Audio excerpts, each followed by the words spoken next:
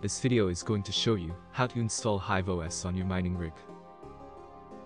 This video is meant to help you install HiveOS onto your mining ring, and in my case I was not getting the rig.conf partition. To show so I will be using rig ID and password on HiveOS.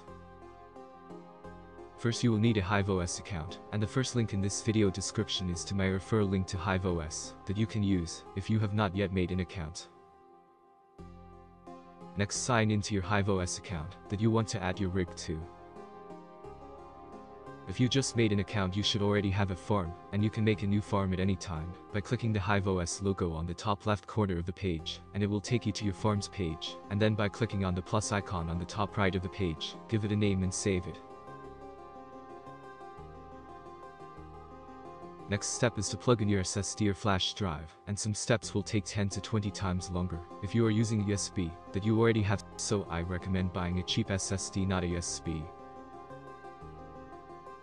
Next step is to flash the HiveOS image to your SSD drive or flash drive, and the second link in the description is to the HiveOS install page, and that has all the latest download links. I will also have the download links for this tutorial in the description, and third link is to the latest HiveOS image and fourth link is to Etcher, and now download the latest HiveOS image and Etcher.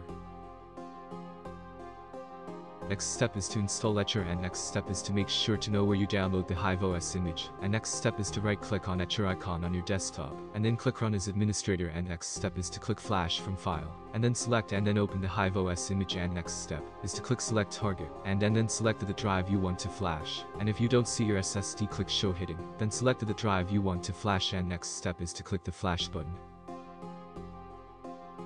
Once Etcher says finish you can remove it from your computer and install it into your mining rig for this next step you will need a monitor and keyboard and ethernet cable all connected to your mining rig. Next turn on your mining rig if you are not using a mining motherboard you may get an error that says secure boot is enabled you will need to disable it to boot into HiveOS so disable it or Google search how to disable secure boot for your motherboard. Once you get HiveOS to boot you will need to let HiveOS run. It's updating itself. This can take a longer while if you are using USB. Once it's done updating you will get a message that says this is your first boot no config found. Next you will need to get a rig ID and rig password. To get it, sign into your HiveOS. Then click on the farm you want to add your rig to. Then click on the plus icon on top right of the page. Then click add worker. You will need to add a name and password. Then click the add button. Now you have the rig ID and rig password.